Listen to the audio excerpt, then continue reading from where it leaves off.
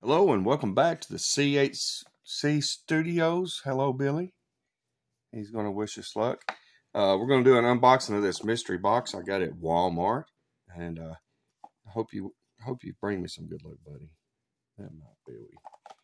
So we're going to get into it. Uh, I'll do the uh, whatever I find. Uh, I plan on doing shorts. Um, it might be uh, the case where if it's something real crazy, I might put it back from my collection uh, of sealed packs. Um, but uh, hopefully, I'll have to. Uh, I'll have to uh, think about it. I hope it's something uh, one of the vintage packs you can get uh, out of here. Okay, I got the back, all the backs. Oh, like a card. Okay. I don't know by looking at the back of packs because I hadn't opened enough in my life.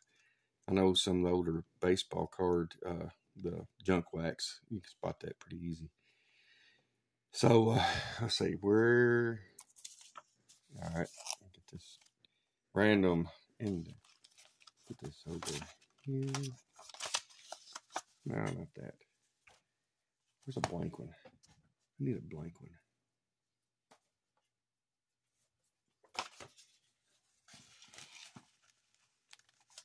All right. Wish me luck, Billy. All right, here we go. Three packs. Possibility of getting a vintage. And the first pack I ever bought of Pokemon was 2012. Here we go. Pack one. Lost Origin. All right, all right. Uh, I think Silver Tempest, I saw just a little bit up here. And from my knowledge, uh, it's a Silver Tempest, which I have. I have one already uh, put back. So let's see what we got.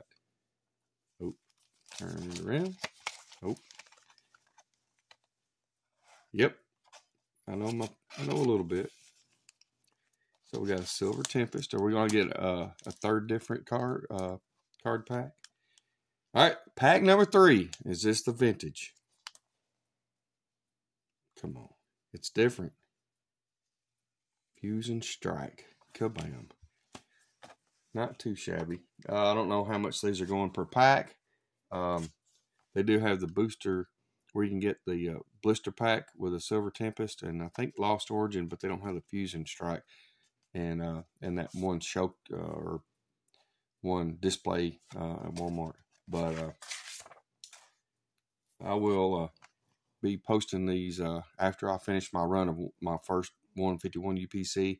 Then I'll be posting these up uh, maybe uh, probably this weekend. Uh, I think I'll go ahead and open all of these. And thanks so much for watching. And I will also have some baseball card content. So FYI, if you're more into baseball cards, I will have some stuff coming out. And uh, thanks so much for watching. Please uh, like and subscribe, hit the notification bell, come back for future videos or look back at the past. And uh, keep loving the hobby and the hobby love you.